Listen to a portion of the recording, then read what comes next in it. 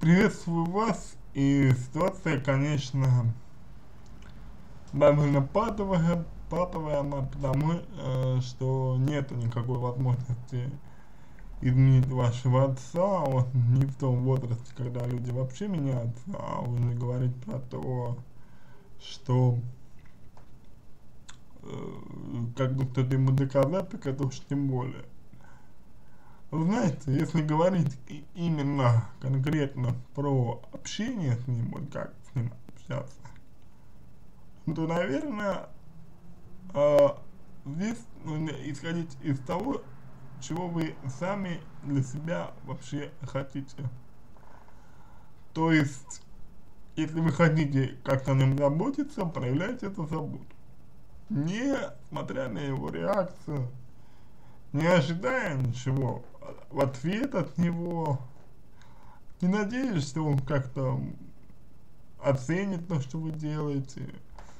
Если вы хотите э, как-то ему помочь, то сделайте это. Если хотите что-то рассказать, также расскажите. А если вам нужно чем-то поделиться с ним, поделитесь. Но всегда помните, что он слишком сильно погружен в себя. Он слишком э, сильно зациклен на себе. Ему а, ничего, кроме себя, на самом-то деле не нужно. И все ваше общение, если это общение будет, а, скорее всего, при, принимает односторонний характер. То есть, исключительно с вашей стороны.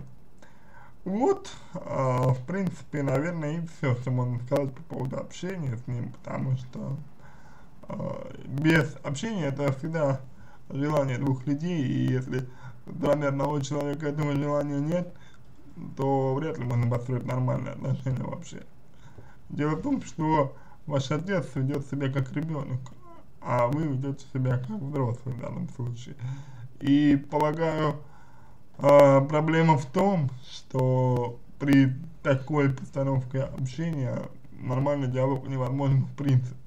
Тут надо исходить из своих желаний, что вы вообще хотите получить от общения с ним, а, почему вы хотите общаться с ним, и, а, что лично вам будет из этого, то есть какие у вас ожидания от общения, чего вы хотите.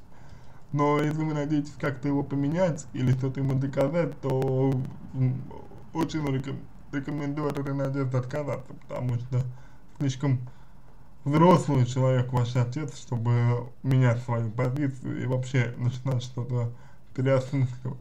Слишком это, знаете, энергозатратно, стрессово и, в общем-то, ставит по сомнению все, что он делал до этого. То есть, э, не, практически нереально.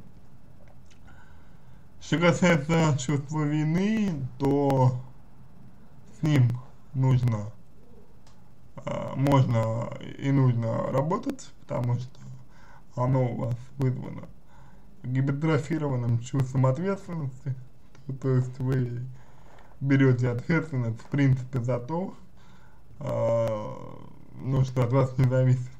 То есть вы берете ответственность за отца на себя, хотя в действительности понятно, что вы абсолютно ни в чем не виноваты, Э, и сделали все, что можно э, для того, чтобы как-то отца поддержать, делали, делали и делаете. Поэтому винить вам себя абсолютно не, не за что.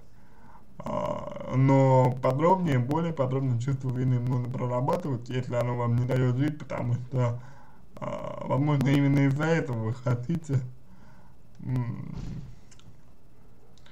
общаться с отцом, чтобы вот это чувство вины купировать. А, понимаете, вот это вот,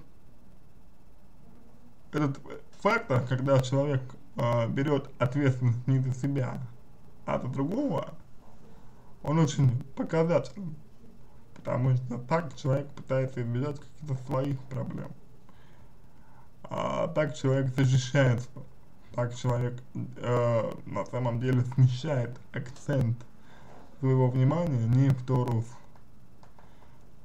Что касается вашей мамы, то здесь ситуация такова, что она, может быть, и рада бы поменять э, свою жизнь, но так же, как и ваш отец, считает, что слишком много времени прошло, слишком долго они уже вместе, и слишком уже старая она, чтобы что-то менять кардинально в своей жизни.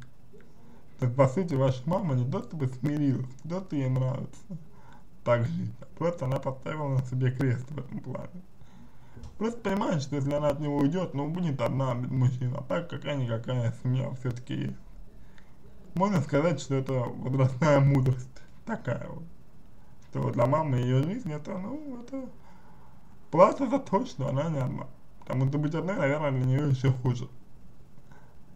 И вам, а, если вы хотите помочь своей маме, а, нужно придумать ей занятия, развлечения, чтобы она как-то отдыхала лучше, чтобы у нее было хобби, может быть, чтобы были какие-то занятия, чтобы она как-то проявляла себя по-другому, нежели чем жена, да, а, и хозяйка. И, и вот это вам как раз таки можно можно и реально сделать. Найти маме какое-то увлечение, развлечение, чтобы ей было э, приятно, чтобы ей было хорошо, чтобы она чувствовала себя вот, ну, живущей. Потому что сейчас она, понятное дело, не живет. Абсолютно. Вот на этом, э, думаю, можно закончить. Э, если вам понравился мой ответ, сделайте его лучшим, пожалуйста, буду благодарен. Удачи вам!